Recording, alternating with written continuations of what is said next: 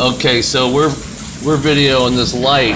We got a storm happening, and every time the lightning hits, this solar light flickers, which is kind of weird. Has anybody ever seen that before? I mean, it's not like Wait plugged it. in. Wait for it. It's not plugged in at all. Now lighting's not gonna hit. It'll, it will. Yeah, see that? See it flicker three times with that lightning? Here, I'll show the lightning and it flickers with the lightning. Not the thunder. Thunder does nothing. Every time the lightning. Every time the lightning strikes, however many times it flickers, is how many times the light flickers.